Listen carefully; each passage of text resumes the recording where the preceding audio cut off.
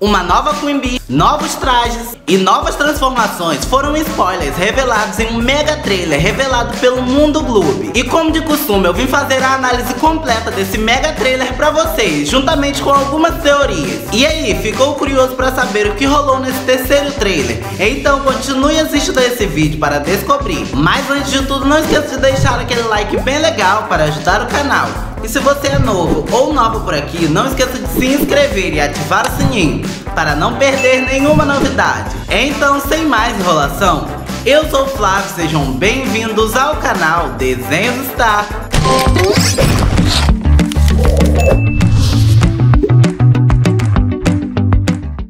Bom, o trailer começa mostrando que já houve algumas mudanças no traje da Ladybug, pois pela mão já dá pra notar uma grande diferença. Ladybug então abre o seu ioiô e puxa lá de dentro o Miraculous da abelha. Se prestarmos atenção, o ioiô da Ladybug meio que muda quando a Ladybug pega o Miraculous lá dentro. Talvez o ioiô ganhe uma nova habilidade de armazenar coisas dentro dele, pois ele mudou um pouco. Na cena seguinte vemos a Ladybug estendendo a sua mão e entregando o Miraculous da abelha para alguém.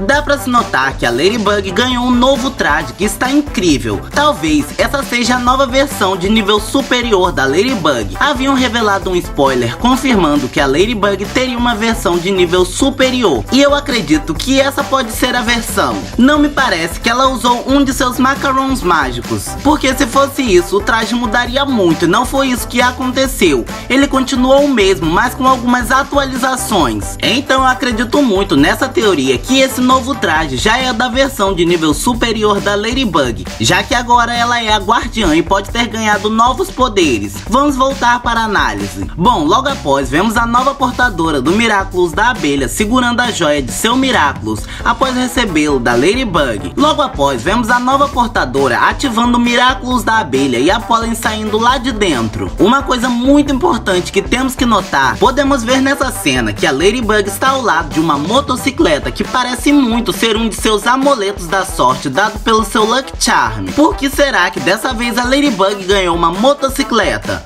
Bom, eu acredito que sempre que o Lucky Charm entrega um objeto para a Ladybug, esse objeto tem a função de ajudá-la durante uma batalha. Ou seja, talvez o Lucky Charm quisesse indicar que a Ladybug buscasse essa nova portadora para se tornar a nova Queen Bee. Ou talvez essa personagem more um pouquinho longe e o Lucky Charm entregou para a Ladybug uma motocicleta para que ela pudesse chegar lá mais rápido. Mas eu acredito mais na primeira teoria. Na cena seguinte já é mostrado a nova personagem ativando seu Miraculous e mostrando a sua nova transformação. Durante todas as cenas de transformações reveladas, podemos tirar algumas pequenas provas e spoilers. A primeira coisa que eu consegui notar é que essa personagem tem mechas rosas na parte da frente de seu cabelo. E obviamente ela é loira. E ela é bem estilosa e usa um tênis bem legal e uma calça amarela. Ela também usa uma blusa no estilo de motociclista. Depois de ver essa pequena cena, tudo faz sentido pra mim. Se essa minha teoria estiver correta, vai explicar o motivo da Ladybug ter recebido uma motocicleta como objeto mágico de seu Luck Charm. A Ladybug recebeu uma motocicleta como amuleto da sorte, certo? Nós também sabemos que essa nova Queen Bee também tinha uma jaqueta preta de motociclista, em sua forma civil, sem se transformar em heroína. Então eu acredito que o Luck Charm estava tentando realmente dizer para Ladybug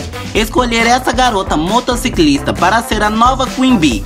E também, ao mesmo tempo, eu acho que a Ladybug poderia realmente andar nessa motocicleta. E o trailer termina com a nova Queen Bee saltando sobre as casas da cidade de Paris, assim como a Chloe fez quando se tornou a Queen Bee pela primeira vez na série. E assim o trailer termina. Agora vamos às observações. A Ladybug finalmente conseguiu alcançar a sua forma superior, ganhando um novo traje. Outro ponto bem importante é que é possível que a nova Queen Bee pode ser uma motociclista ou ela tem alguma relação com motos. Existe a possibilidade dessa nova Queen Bee ser uma irmã distante da Chloe que virá para Paris, já que a Alder Bourgeois decidiu ficar em Paris no final da terceira temporada temporada. A parte ruim disso é que eu gosto muito da Chloe e gostaria que ela mudasse para continuar sendo a Queen Bee, mas nesse momento não seria bom para ela. Mas ela não vai gostar nada de ver outra Queen Bee e isso vai dar muito problema. Ela pode acabar indo de vez para o lado do mal, ficando com o Rock Morph. E isso não pode acontecer, porque a Chloe merece muito mudar. Mas e aí, o que vocês acharam desse trailer e das minhas teorias? Deixem aqui nos comentários para me saber. Então, esse foi o vídeo de hoje. Eu espero muito que vocês tenham gostado.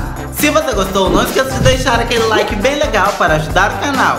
E se você é novo ou nova por aqui, não esqueça de se inscrever e ativar o sininho para não perder nenhuma novidade. Obrigado por ter assistido esse vídeo até aqui. Um super beijo e até o próximo vídeo. Valeu e fui! Tchau!